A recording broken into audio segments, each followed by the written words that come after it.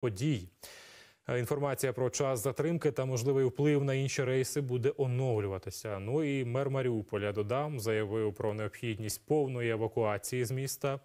У Маріуполі досі залишається близько 160 тисяч мирних жителів. Як каже Бойченко, у місті неможливо жити, бо немає взагалі нічого: ні світла, ні тепла, ні води, ні зв'язку.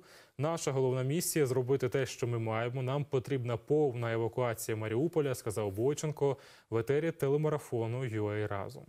Ну і е, власне е, далі ми перейдемо на цей марафон до 15-ї, бо тоді буде фронт Бадрака. Валентин Бадрак із черговим гостем буде вести е, розмову на воєнну тематику. Тож не пропустіть просто зараз дайджест головних подій першої половини дня. Потім, як я вже сказав, невелика перерва. Я ж кажу вам до зустрічі. Мене звати Дмитро Степовий. і Все буде Україна.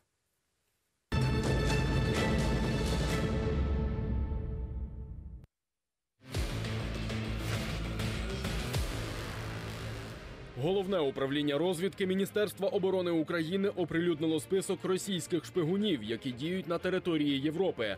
У переліку дані про 620 співробітників ФСБ Росії. Серед інформації прізвище, ім'я і по батькові, місце роботи, адреса реєстрації, паспортні дані, марки, моделі та номери автівок. Повний перелік шпигунів можна побачити на сайті головного управління розвідки.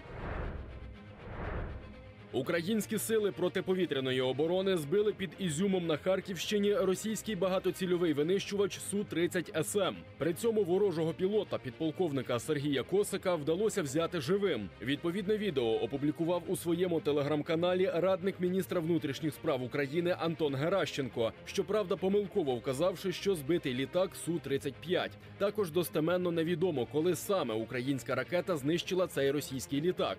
При цьому затриманий пілот каже, на злочинне завдання вилетів 13 березня із Курського аеродрому. Нині російські підрозділи щодня втрачають по пів тисячі людей. Таку статистику навів радник голови офісу президента України та член переговорної групи Михайло Подоляк. каже, це свідчить про надзвичайно високу інтенсивність боїв і мотивацію українських військових. І додав, щоб подвоїти і навіть потроїти кількість безповоротних втрат серед російських військ, необхідно різко збільшити обсяг постачання снарядів до важких і далекобійних артилерійських систем. Вночі у столиці знову пролунали потужні вибухи. У державній службі з надзвичайних ситуацій повідомили, що внаслідок потрапляння залишків збитої ракети сталося займання на території приватної садиби у Дарницькому районі міста. На загоряння негайно прибули вогнеборці. У відомстві також повідомили, що за годину роботи рятувальників пожежу на площі 100 квадратних метрів ліквідували. Інформацію про постраждалих не повідомляють. Англійський уряд передав Україні партію переносних зенітно-ракетних комплексів Старстрік. Про це заявив міністр оборони Великобританії Бен Волес в інтерв'ю The Mail. Він сказав, що перші українські підрозділи вже пройшли підготовку і нині розгорнули ці ПЗРК на своїх позиціях. Переносні зенітно-ракетні комплекси Starstreak призначені для ураження гелікоптерів і літаків противника на висоті до 5 кілометрів. При цьому дальність польоту ракети до 6 кілометрів. Ракети до комплексів Starstreak вважають найшвидшими у своєму класі. Їхня швидкість сягає 3,5 махів, що дозволяє знищувати навіть високоманеврені цілі. Також особливістю ракет цього ПЗРК є бойова частина із трьома вольфрамовими субелементами, що розділяються у польоті і дозволяють вражати цілі із високою ймовірністю. Новий турецький безпілотник з українським двигуном.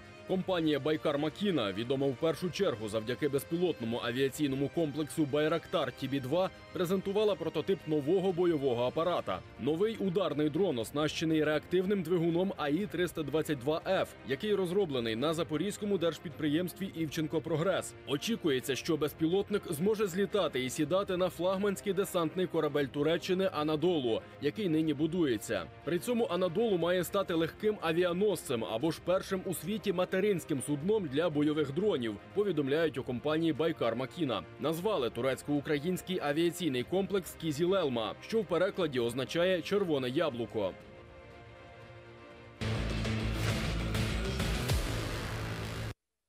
про переміщення міжнародної військової допомоги в Україну, про рух або ж дислокацію збройних сил України та інших військових формувань. Нагадаю, за такі дії без дозволу Генерального штабу передбачено відповідальність від 3 до 12 років позбавлення волі. Викладати таку інформацію до соціальних мереж або ж розповсюджувати іншим способом можливо тільки з письмового дозволу, або якщо вона вже була оприлюднена Генеральним штабом. Поширення такої інформації